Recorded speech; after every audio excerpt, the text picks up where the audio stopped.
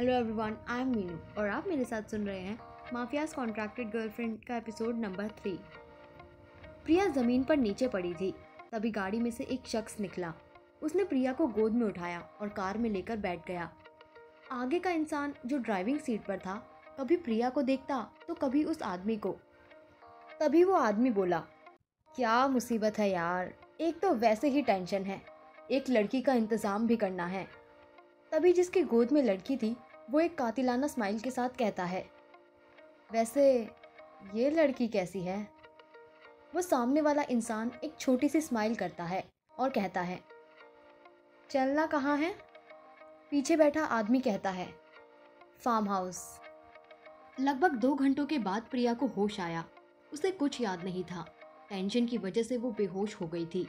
उसने धीरे धीरे से अपनी आँखें खोली तो सामने माफिया वर्ल्ड का बेताज बादशाह सोफे पर एक पैर पर दूसरा पैर रख राजा महाराजा की तरह बैठा था। उसके चेहरे पर तिरछी सी स्माइल थी। प्रिया बेड से उठती है और ध्यान से उसकी तरफ़ देखती है। आद्विक ने ब्लैक बिज़नेस सूट पहना था। साथ में ब्लैक रोलेक्स वॉच चमकते शूज़ और फिर उसका हैंडसम फेस जो बिल्कुल परफेक्ट था। बाल बिल्कुल सेट थे।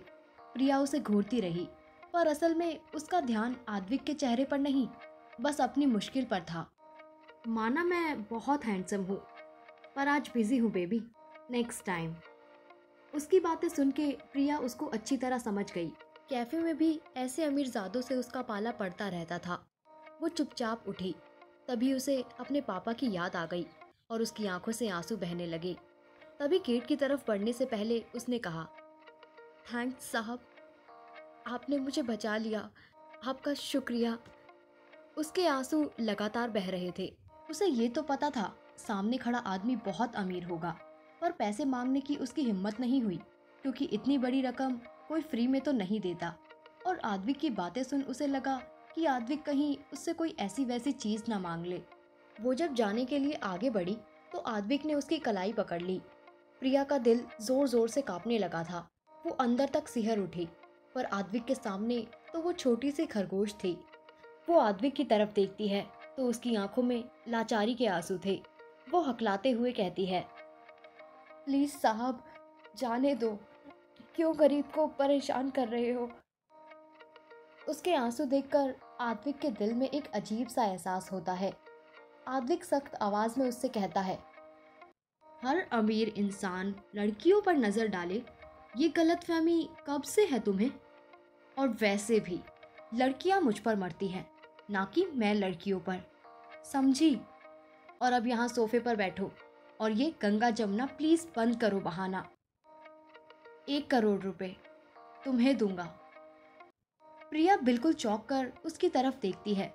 उसको यूँ ऐसे अपनी तरफ़ देखता देख आद्विक अपनी बात भूलकर उसके चेहरे को ध्यान से देखता है।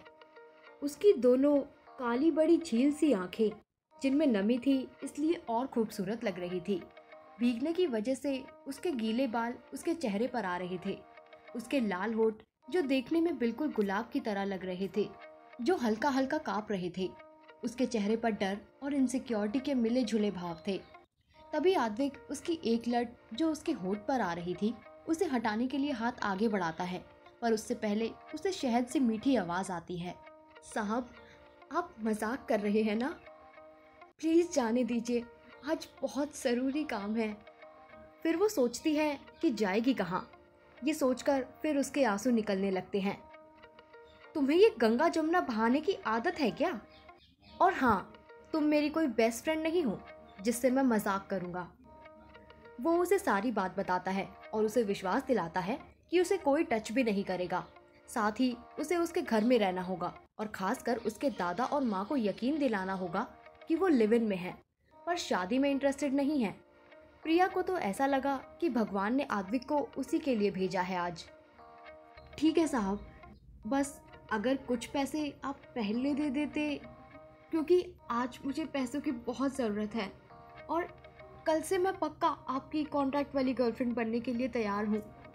पर आज मुझे जाना होगा।